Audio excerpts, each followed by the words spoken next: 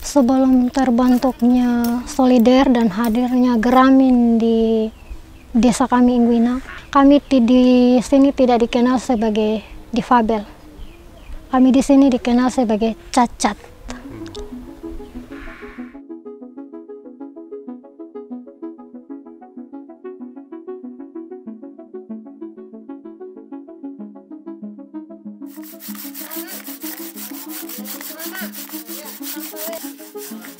Penyandang disabilitas di Desa Ingguina, Kecamatan Rote Barat Laut, Kabupaten Rotendao, Nusa Tenggara Timur, masih menghadapi stigma dalam kehidupan bermasyarakat. Stigma tersebut dapat melahirkan sikap diskriminasi dalam kehidupan sosial termasuk dalam partisipasi penyandang disabilitas di desa. Ada pekerjaan di gereja, desa, kami tidak pernah dilibatkan karena kami dianggap bahwa kami adalah ini kaum cacat yang tidak mampu. Karena sebelum kami masuk dalam kelompok KDD, kami individu sendiri-sendiri tidak bisa keluar karena kami tidak dianggap. Jujur kami sebagai difabel kami tidak bisa percaya diri. Didanai oleh DFAT, Sigap Indonesia mengimplementasikan proyek Solider, Strengthening Social Inclusion for Disability Equity and Rights, memperkuat inklusi sosial untuk kesetaraan dan hak-hak disabilitas.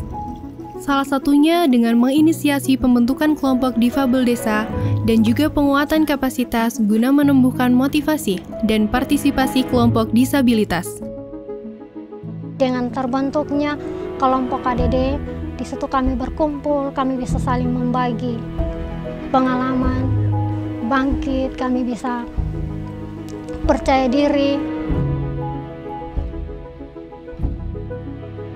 Waktu pertama itu anak saya kondisi keadaannya begini, maka sonde pernah keluar di demi nama papa, maka sekarang ini dia menjadi ketua Mifabel. Jadi kami orang tua sangat bahagia. Stigma terhadap penyandang disabilitas tidak lepas dari minimnya pemahaman masyarakat tentang disabilitas itu sendiri.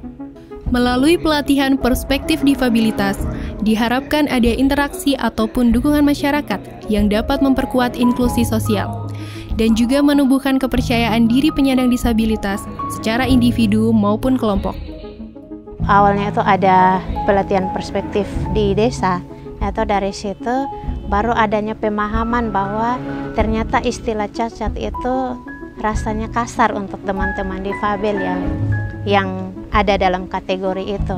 Nah, ketika mereka dilibatkan dalam kegiatan baru masyarakat melihat bahwa ternyata mereka punya keterbatasan seperti ini, tapi mereka juga mampu untuk bersaing dengan saudara yang non difabel itu teman-teman kita yang difabel ini kepercayaan diri mereka itu lebih lebih terlihat.